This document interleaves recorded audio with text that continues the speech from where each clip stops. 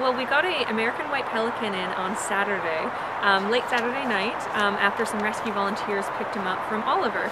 Um, he was at a lake in Oliver. Um, he unfortunately looks like he was injured there. Um, the locals said that he was there for about two to three weeks, so we don't actually know how long he was um, grounded for and when his flock left him, but we're suspecting two to three weeks.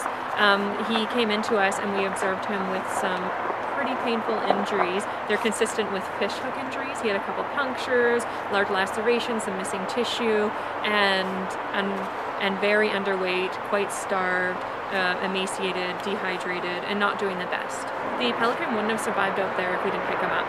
Um, it, there would have been a large frost or snow or the food um, shortage, um, or he might have become painful and infected and he wouldn't have survived. He would have died probably within a couple weeks, more than likely.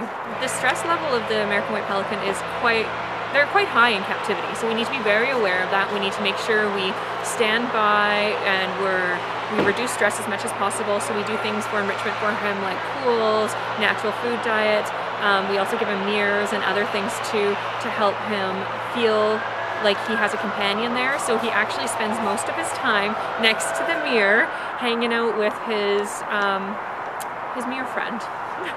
He's really adorable. So we would always want to make sure that if you have like species, we would house them together, but he is the only one, and we're not going to bring in another one to um, house with him because being captivity isn't the best thing for them. So we're going to make sure that he has his mirror friend and that he's doing everything he can to enrich him so he doesn't get stressed and doesn't get bored or sad.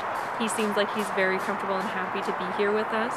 Um, he's doing really well and he's recovering really well. And the other thing I want to add is that um, if you do see an injured animal in the wild, to call us immediately. We serve all of BC. We want to make sure that we respond to these animals sooner. And if we have the opportunity to care for this animal before he gets infected and emaciated, then we have a better chance of survival. So anytime we get an opportunity, we want to try to rescue them as soon as possible.